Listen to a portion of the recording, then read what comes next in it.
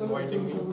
I hope uh, this next one hour will be somewhat useful for you. You will learn something something new out of this uh, one and a half hour session. Uh, so how I will try to divide my time is uh, first five ten minutes. I will. First five ten minutes I'll uh, talk about myself, uh, company, what we do. After that. I will cover basics of basic concept of performance-based design for 10-15 minutes, and after that I will demonstrate a simple example that I did during my masters for uh, maybe 30-40 minutes. And after that, uh, time permitting, I will show you some guidelines that are existing in uh, US for performance-based design that are uh, sort of like the reference for performance-based design. And I, will answer any questions that you might have related to this subject or any other any other subject. Okay. So I work at Optimum Design. Uh, it was started by my father. Uh, he has been designing buildings for last uh, 25 years. He has designed more than uh, more than 15 crore square feet of built-up area. I am relatively new in that field. I have been working in design for last four five years. I did my masters in uh, structural engineering from UCLA, and there I also worked as a research assistant for uh, Professor Burton for six seven months. I did not continue for PhD, but I worked as a as a research assistant during my masters. So I was able to publish my work. Uh, I did one publication in earthquake spectra, which is uh, considered very uh, reputable journal in structural engineering field, and then one um, publication in structural safety. So what I worked on is uh, I worked on quantifying aftershock collapse vulnerability of uh, of uh, infill frame buildings. So in simple words, in simple word, when main shock aata hai, then there is some damage that is sustained by building, which re reduces its uh, collapse uh, capacity for uh, aftershocks. So we worked on quantifying that, that how much collapse uh, capacity is reduced um, and uh, then basing it on the intensity of uh, main shock. How much is that affecting the collapse capacity? So uh, moving on, Th- these are uh, some of our projects. Uh, uh, some relatively big ones are like in uh, Crossing Republic. We have done more than 80-90 percent of towers in that area. This is a Saya building in front of Shipra Mall. Uh, you might have seen. Bulk. This is uh, Supertech uh, Cape Town. Bulk. Well, uh, bulk of our project is in Noida, Greater Noida, Gurgaon area, but we have uh, projects uh, throughout the country. But bread and butter area is this Greater Noida, Noida, Ghaziabad, and Gurgaon. So now I'll start with the with the subject of this presentation. First, uh, I have two slides basically outlining the very high level difference between code-based design, that is design that we are much more familiar with, that we practice in day-to-day life, and performance-based design. So uh, code-based design, as you all might be familiar, uh,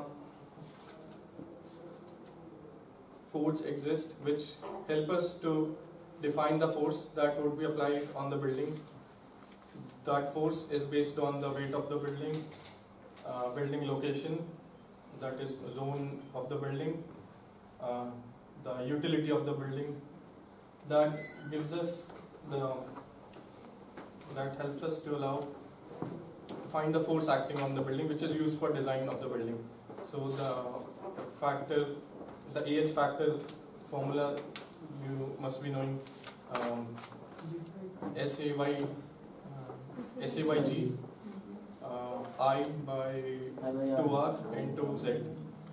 So the, all these all these variabilities are covered within that single formula that gives us the force that is acting on the building and it also gives us a method to divide that force on each story and then we are able to get the force for which the building is to be designed or the member of the buildings are to be designed. So what what is the the basic assumption in code based design is uh, you know what is uh, can anybody tell me why is the R factor there in that formula? To calculate. response reduction factor. but uh, why why do we want to include that factor? What ductility thing? R factor is related to ductility of the building. More more ductile we think or the expert experts of uh, the people who are formulating the codes the expert of the field. The more ductile they think the building is going to be the more R factor it will have. So R fact the forces are reduced by that R factor and then we design for those forces usually for R factor there is no basis as such to quantify ductility. Is mm, it's based mostly on experience of people who have been designing buildings for many many years and who are considered uh, as experts in this field. So if uh, if we don't apply R factor what will happen is we will will get very uneconomical buildings so there might you, you might see buildings with which might look like just a column with some maybe a room in between somewhere. So this uh, there has to be a balance between economy and uh, safety. So this balance is maintained by R factor. Many many of the buildings might never see an earthquake uh, for which they are designed in their lifetime. So to maintain economy, this R factor is used. And lastly, after applying the R factor, we assume building should be elastic while bearing the forces. It should not go into nonlinear region. All the materials should remain elastic while bearing all the forces that it is being designed for. And lastly, we use specified material properties. So what is specified material properties is uh, if you buy a reinforcement, uh, it says Fe 500, then 500 is the specified strength of that material, and we use that number for designing. So th- that was basic of very you know broad uh, level or broad perspective basis of code design. Now this this is uh, similar basis for performance based design.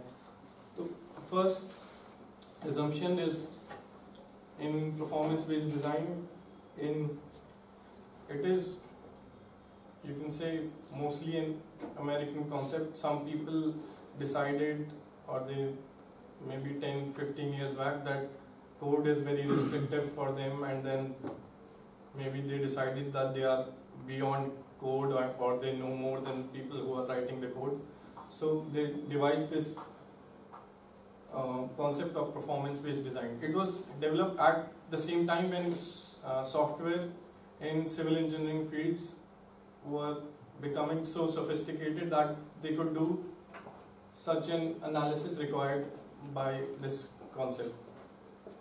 So broadly, it is uh, performance-based design is more subjective you can say you have to take informed decision designer has to take informed decision, himself. Other while in code based analysis those decisions have been already taken for him by the codal committee or by the people who write the code. So uh, what the broad uh, broad outline of performance based design is that uh, the first of all the promoter of the building sits down with the architect, the geotechnical person, and the structure engineer, and he, first of all, it has to be de- decided what kind of performance he is looking to achieve from his building. So, not all buildings have to be designed for the same code. In code-based analysis, this is this factor is uh, taken care of by I importance factor. Uh, does everybody know what importance factor is? Um, importance factor. So It is about the importance of buildings. On the basis of their importance, it is decided.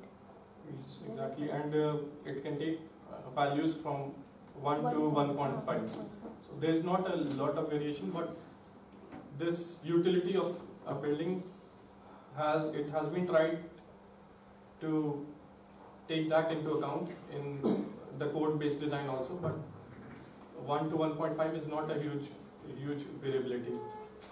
So uh, when we decide what is the utility of my building, so maybe somebody who is designing a parking structure does not have to uh, does not need the same amount of safety in his building as somebody who is designing a hospital. So the performance-based design is, in a way, it tries to treat them more distinctly than just importance factor of 1 and 1.5.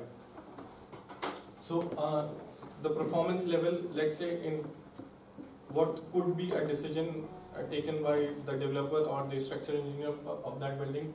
Say maybe I have a, a regular building or a parking structure, I could be looking at this line. So this this line is sort of quantifying what performance is expected from what level of earthquake. So I let's say I have a hospital or a nuclear plant, then I might be looking at this line. I don't want I want that uh, that building to be functional after any any kind of earthquake. Parking structure maybe it's okay if there is a huge earthquake and it suffers irreparable damage and it's not usable after the after a big earthquake. But I want hospitals and fire stations to be usable after a big earthquake. So this performance level is decided uh, before starting the design of a building. This performance level is nothing but it has divided earthquakes into service level and in the start it has divided them into frequent, occasional, rare and uh, very rare earthquake. And similarly, these are the performance level that are defined in, in this chart. So in each of the earthquake, you might expect building to be anywhere between fully operational to near collapse. Which so before starting this process, we have to decide where our building has to be in this graph. And after analysis, there is not exactly any code for performance based design, but there are some guidelines that have been printed by uh, ATC and uh, National Institute of Science and Technology in the US, which is like reference guidelines which can be used. But it's not a hard and fast code. Code in design, it's uh, like a law.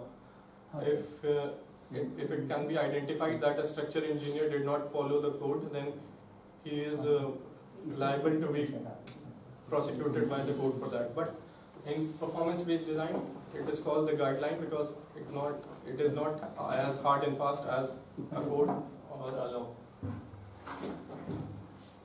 So in this, secondly, no response reduction factor is used. So we use forces as they come. Whatever force that, let's say, uh, rare earthquake will apply on the building, we will analyze the building for that force. We will not reduce it based on the expected ductility of the building. And so we use expected properties in performance-based design. Now, how, how are expected properties different from specified properties? Is normally when say uh, BIS or ISI allows somebody to print FE500 on their packaging, they have to satisfy a certain condition that 95% of the samples will have to exceed exceed that value. So, but if you start testing Fe 500ST, normally the mean value of strength would be greater than 500. So we use that mean value of strength in performance-based design, which is higher, usually higher than the uh, the specified properties of material. Now, uh, immediately somebody might ask a question: How how higher are these value from um specified properties? So there are again in these guidelines there are some reference for